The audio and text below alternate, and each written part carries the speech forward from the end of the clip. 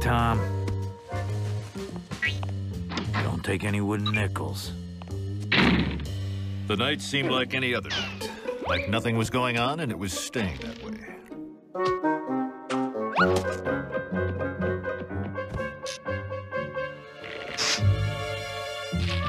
But tonight was different. You could smell it in the air. There was something out there, something dastardly, some dark shadow waiting to strike. But who has a sense for sinister schemes? Whose green eyes stare into the darkness and see the foul plots and criminals hiding within? Why, no one less than Tom Cat, private detective.